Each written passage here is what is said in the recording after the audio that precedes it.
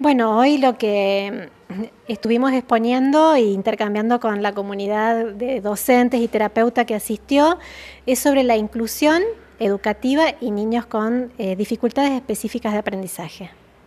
¿Cómo surgió esta idea? Bien, en realidad eh, es un tema que preocupa. El 15% de la población escolar eh, hoy presenta alguna de estas dificultades y bueno, el espacio eh, brindó la posibilidad de poder albergar a todas las docentes hoy en un día como este, que es sábado, que no tienen que trabajar, entonces este, pudimos distendernos y dialogar sobre esta temática. ¿Cuáles son algunos de los puntos que trata?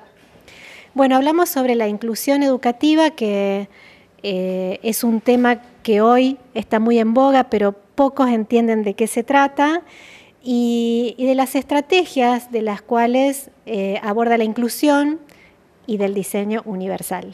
¿Cómo está el tema de la inclusión? ¿Es difícil en el aprendizaje?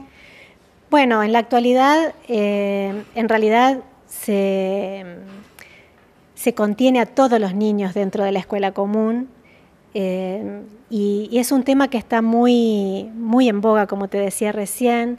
Eh, se trabaja mucho en las escuelas para la contención de todos los niños pero la nueva filosofía, que es el diseño universal, es como que pocos lo conocen y todavía no está como instalado y, tampoco se sabe demasiado, ¿no? Entonces, bueno, poder ponerlo en palabras y compartir un pedacito de todo eso, sobre todo en la franja de niños con trastorno del lenguaje, que es una franja bastante común, eh, fue muy grato. ¿Hay predisposición por parte de las instituciones educativas? Sí, bueno, todo lo que tenga que ver con, capacitación, con apertura, con, nuevos espacios, eh, creo que comulga perfectamente con las instituciones y de hecho de hoy mismo se hicieron presentes muchas de ellas. ¿Y qué se le puede decir a aquellas docentes que notan que tienen alumnos con este tipo de discapacidad?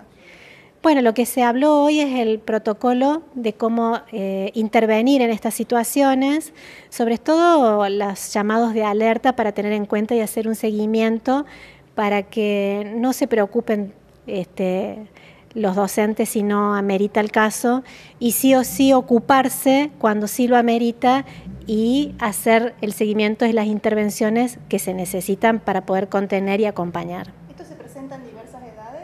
Sí, sí, en todas las edades. Es una cuestión neta del aprendizaje. No lo notamos en un niño cuando juega afuera en la calle o en familia. Sí, cuando se sienta frente al cuaderno. ¿Estás contenta por la convocatoria? Sí, súper. La verdad que re bien. Para un sábado a la mañana este, está fantástico. ¿Van a continuar estas charlas, Rodrigo? En lo posible, una por semana, ejes temáticos fundamentales de la ciudad en este caso muy, muy dirigido y muy específico a la educación, eh, el tema urbanismo, el tema lago y todos los temas que realmente vivimos los carlospacenses día a día eh, van a ser afrontados por técnicos, por especialistas, por gente que eh, es necesaria para el Carlos Paz que todos estamos esperando. ¿Cómo es la entrada? ¿Se cobra? No, no, hoy simplemente la gente acreditó con un alimento no perecedero, que vamos a derivar a alguno de los merenderos seguramente, o al refugio nocturno. Eh, esto se, se amplía de esta manera.